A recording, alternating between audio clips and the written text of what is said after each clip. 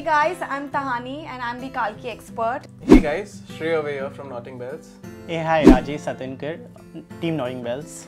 So uh, basically, we are here today to address the problem of the brides to be. They have some questions that they want to ask you, and I'm sure you'll be able to help us with them. Definitely. So the first question that I think is a very common question every bride wants to know is how to nail the perfect lehenga swirl.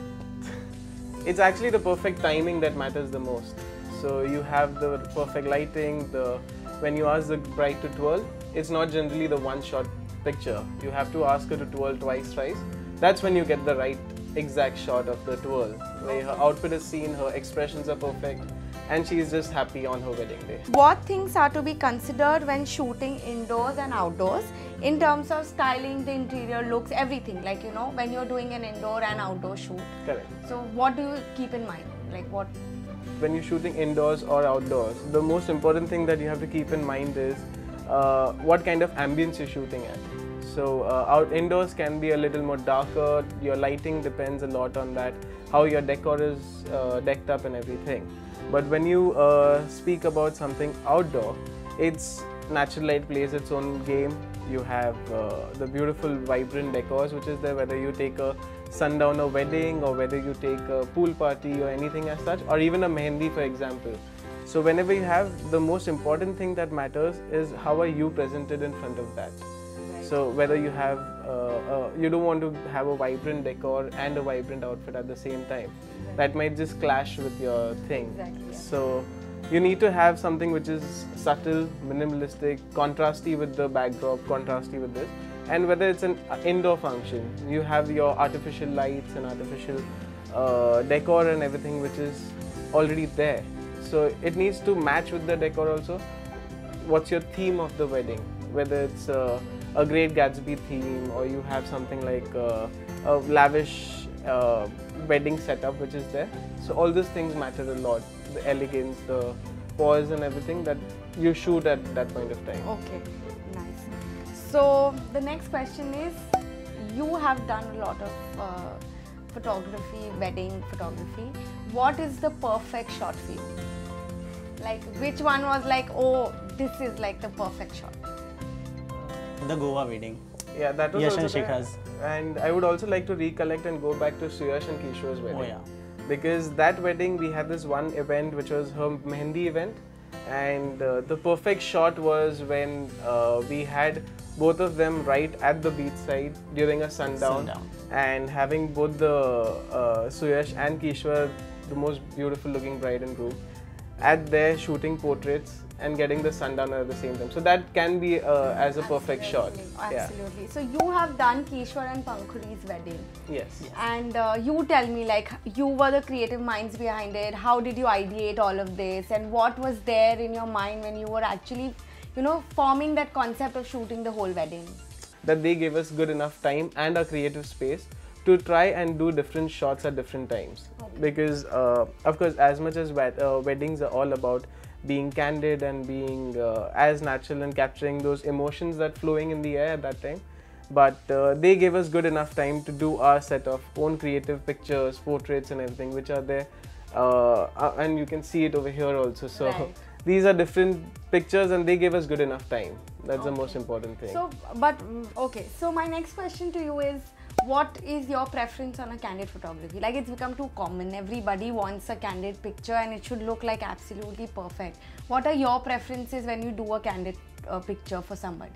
we don't understand the difference yeah. between this new terms of candid Yeah. and uh, t- uh, as people term it traditional so uh, for us photography is photography whether it's candid whether it's traditional whether it's the moment that we capture or whether it's the uh, entire emotion that's floating around that we capture so it's all about capturing the right moment at the right time Okay. yeah Okay, so I also want to know that you know this you have to actually answer it to the audience that you know everybody wants a dreamy wedding, everybody wants to look like superstars, and when you talk about normal audience, they also wish to do that. So, do you have certain places in mind that you can suggest which are also easy on pocket, plus it gives the same effect, that same wedding look that they want for a pre-wedding shoot or a wedding shoot?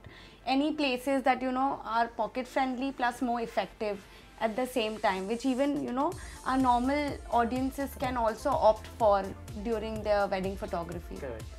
Uh, so yes, there are a lot of places where we have personally traveled and uh, uh, which are very pocket friendly for our clients also, and it's not something that they have to go out of the way to get those beautiful their pictures. budget, yeah. Yeah. And uh, So, uh, like recently, we did a shoot in Oman, Okay. which was a beautiful place, and it was not too expensive. Also, the flight tickets are very cheap. The uh, travel and stay Local travel and internally, stay, local yeah. and stay, uh, plus whatever the locations were, they were quite uh,